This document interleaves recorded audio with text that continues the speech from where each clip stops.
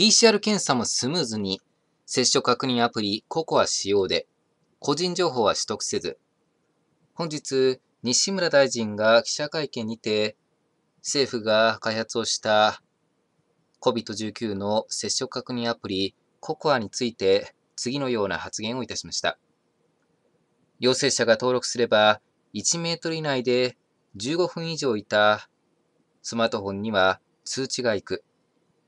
通知には連絡先があり、スムーズに PCR 検査を受けることができる。濃厚接触者が早くわかり、クラスター対策が効率的に行える。ぜひ、インストールをお願いします。個人情報が取られるんじゃないかとか、電話番号、位置情報、誰と会っていた、どこにいたとか、そういった誤解がありますが、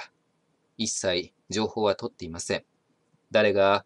陽性者かすら我々はわかりませんと発言されておられましたが、まあ、このココアについては、日本のマスコミが個人情報が抜かれているかのような悪質なデマを垂れ流し、まあ、なかなか国民の皆様のインストールが進んでいないようでございますが、このココアを国民の6割以上がインストールして使用することによって、COVID-19 の対策がですね、ようやく効果的に実施できるようになりますので、私もインストールして使用しておりますが、